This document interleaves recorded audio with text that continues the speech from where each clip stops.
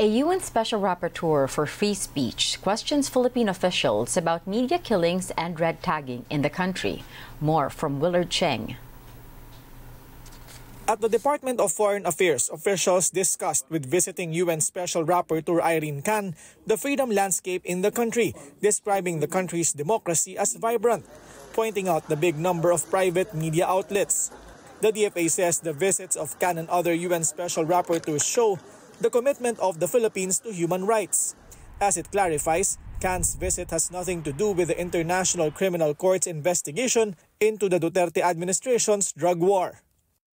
We very much support the policy of uh, protecting uh, and promoting, particularly the, uh, uh you know, what she came here to, to assess the freedom of uh, expressing oneself and uh, the freedom of uh, giving one's opinion.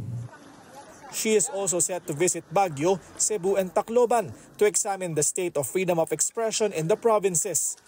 Khan is expected to address the media once she wraps up her visit. In just 12 days, Khan will look into the state of freedom of opinion and expression in the Philippines.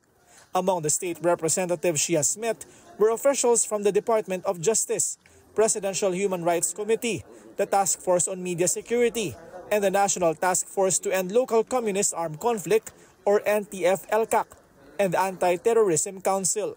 Khan sought clarity on the country's criminal justice system, and officials discussed the cases of journalists killed under the Marcos administration. It was explained to, to, to, to, to her na hindi nagtatapos doon. No? Kung hindi umakyat yung kaso sa korte, at nasa level ng piskal ay hindi po natapos ang investigasyon doon o ang pagbibigay ng hustisya. We wish to impart that the Philippines has a very clear human rights advocacy framework. One of the concerns raised by Khan was red tagging, which the NTF-ELCAC denied doing, insisting it is not the policy of the government. She would like to hear uh, more from us uh, kung ano yung ginagawa natin uh, to prevent uh, such thing from happening. The UN Rapporteur on the Promotion and Protection of Human Rights in the context of climate change had recommended the abolition of the NTF-ELCAC and called for an independent probe to look into its operations. Willard Cheng, ABS-CBN News. Turning now to the legal battle of controversial TV network SMNI.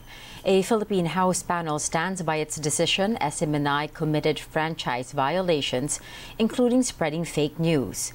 The House Committee on Legislative Franchises adopted a resolution last month urging the National Telecommunications Commission to suspend the network's franchise. This resulted to NTC ordering the broadcast network to stop its operations pending a resolution to its administrative case. But SMNI has said the move is a political attack against the network and a violation of press freedom. There are three violations and one of them is fake news. Yung uh, freedom of expression, yung sinasabi po na lagi depensa, they also have the moral responsibility to tell the truth. And they should also, fake news has no space in a democratic, in a democratic space. The House is expected to deliberate a bill seeking to revoke SMNI's franchise next month. House Speaker Martin Romualdez reaching out to Senate President Juan Miguel Zubiri amid the deadlock on charter change. In his letter, Romualdez stressed the importance of opening up to the country the more foreign investments. He also committed to adopt the Senate's charter change resolution, which focuses on amending economic provisions once it has been approved by the upper chamber. Romualdez said the country stands at a historic juncture where cooperation and collective resolve are paramount. He added the Philippines must move past barriers to implement reforms.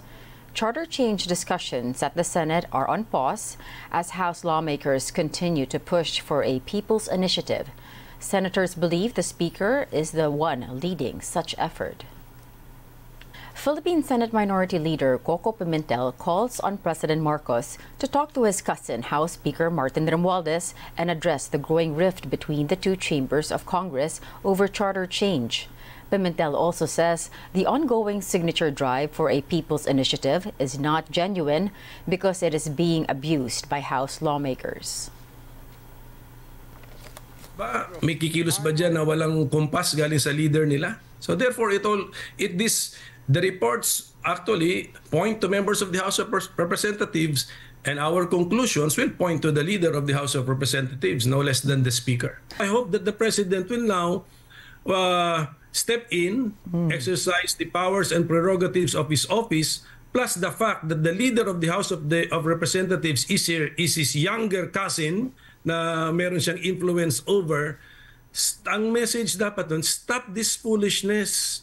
Because the People's Initiative as the third mode of amending the Constitution has been hijacked by the House of Representatives, which is wrong, incorrect, and immoral.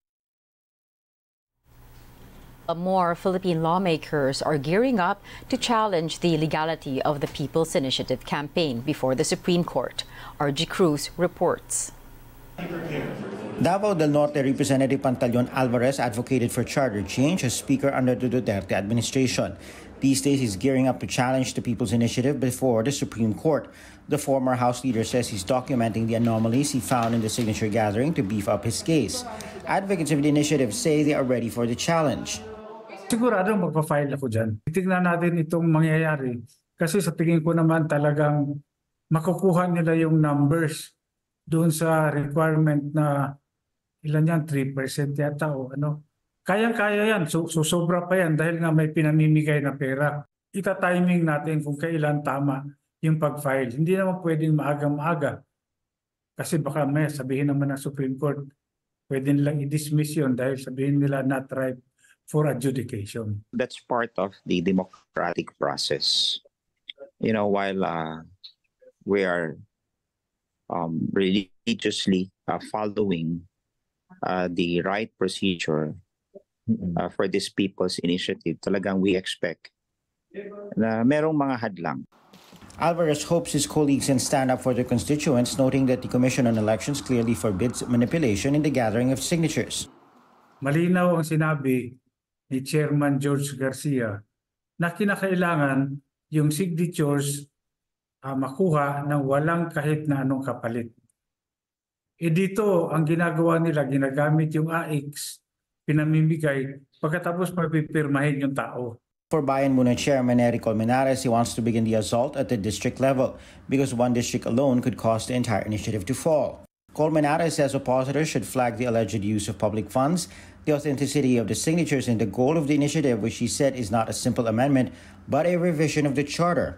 Colmenares urged those who signed to withdraw their signatures and file complaints at the poll body. He also calls on witnesses to testify in court. Even the COMLEC is ready in case the People's Initiative is challenged before the High Court. Its spokesperson says the poll body is only doing its job under their own rules. ginawa lang po namin yung trabaho. But then again po, kung kami po dadalhin sa Korte Suprema, sa kataas-taasang hukuman, sabi po ni Chairman Garcia, dalawang araw ko na nadidinig, kahapon at kanina, wini-welcome po namin ito. At yung commitment naman po namin lagi, kung ano man ang maging utos ng Supreme Court, susunod po at susunod ang COMELEC. So far, the COMELEC has received signature forms from 1,032 cities and municipalities, or about 192 of the 254 congressional districts. Garbin says they are close to achieving the required number of signatures. Albay Representative Edcel Lagman dismissed the signature sheets, saying the signatures have to be verified, as he also cited irregularities in seeking support for the People's Initiative, claiming that signature buying is rampant. He maintains no petition has been filed and there is no enabling law for the initiative. RG Cruz, ABS-CBN News. The Philippine Transportation Department says the April 30 deadline is the final extension for the consolidation of jeepneys under the PUV modernization program. DOTR Secretary Jaime Bautista points out this is the eighth time the deadline for the consolidation was extended by government. He also believes the three-month extension gives enough time for jeepney drivers to comply with the necessary requirements for consolidation